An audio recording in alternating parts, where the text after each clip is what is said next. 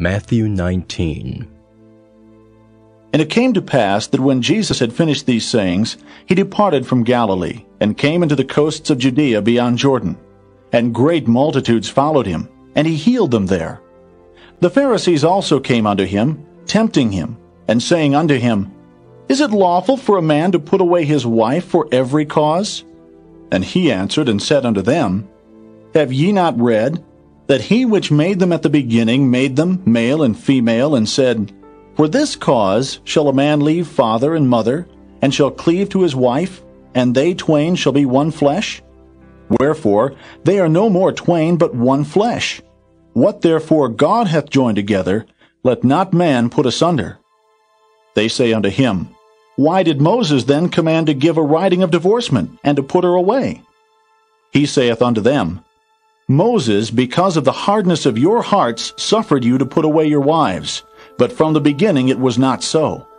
And I say unto you, Whosoever shall put away his wife, except it be for fornication, and shall marry another, committeth adultery. And whoso marrieth her which is put away doth commit adultery.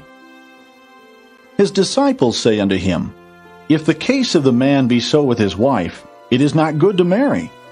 But he said unto them, all men cannot receive this saying, save they to whom it is given.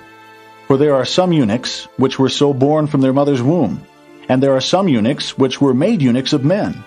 And there be eunuchs which have made themselves eunuchs for the kingdom of heaven's sake. He that is able to receive it, let him receive it. Then there were brought unto him little children, that he should put his hands on them and pray. And the disciples rebuked them. But Jesus said, Suffer little children, and forbid them not to come unto me, for of such is the kingdom of heaven. And he laid his hands on them, and departed thence. And behold, one came and said unto him, Good master, what good thing shall I do, that I may have eternal life? And he said unto him, Why callest thou me good? There is none good but one, that is God. But if thou wilt enter into life, keep the commandments. He saith unto him, Which?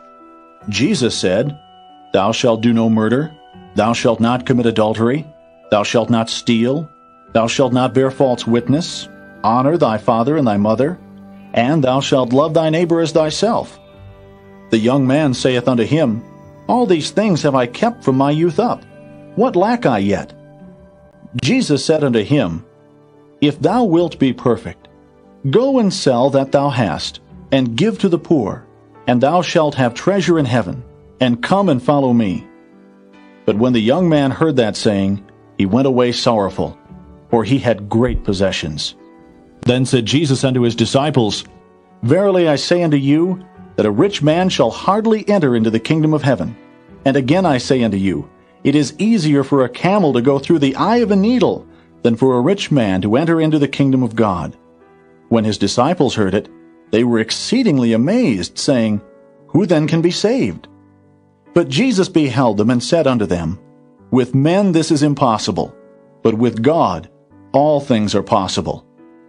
Then answered Peter and said unto him, Behold, we have forsaken all and followed thee. What shall we have therefore? And Jesus said unto them, Verily I say unto you, that ye which have followed me, in the regeneration when the Son of Man shall sit in the throne of his glory, ye also shall sit upon twelve thrones, judging the twelve tribes of Israel. And every one that hath forsaken houses, or brethren, or sisters, or father, or mother, or wife, or children, or lands, for my name's sake, shall receive an hundredfold, and shall inherit everlasting life. But many that are first shall be last, and the last shall be first.